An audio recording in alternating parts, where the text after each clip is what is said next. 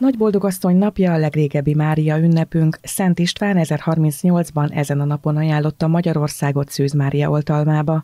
Nagy boldogasszony napján arra emlékezik a hívő közösség, amikor Jézus Krisztus édesanyja halála után föltámasztotta őt és magához emelte a mennyei dicsőségbe.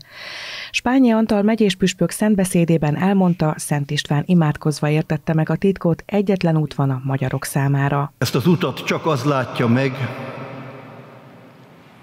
aki szemét az égre emeli, aki imádságos lélekkel él, és imádságos lélekkel próbálja a világot szemlélni, és a világ zűrzavarában, a különböző jelek kuszaságában az égre emelve igazodik el. Ott született meg életének a műve, hogy ez az ország és ez a nép legyen Mária népe, és legyen Mária országa. A megyés püspök hozzátette, jöttek nehéz idők, voltak szenvedések, veszekedések, önzések és testvérharcok is.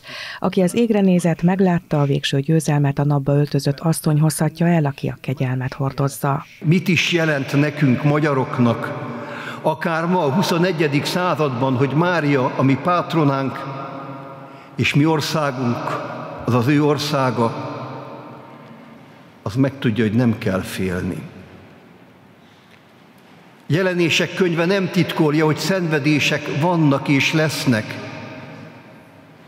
de minnyájunk számára lelkünkbe kiáltja, a győzelem biztos, a győzelem Krisztusé, Spányi Antal hozzátette, Mária népe vagyunk, akit a szűzanya szeretettel óv. El kell űzni a félelem minden árnyékát, Istentől kapott a reményel kell a jövőben néznünk, és formálni környezetünk világát.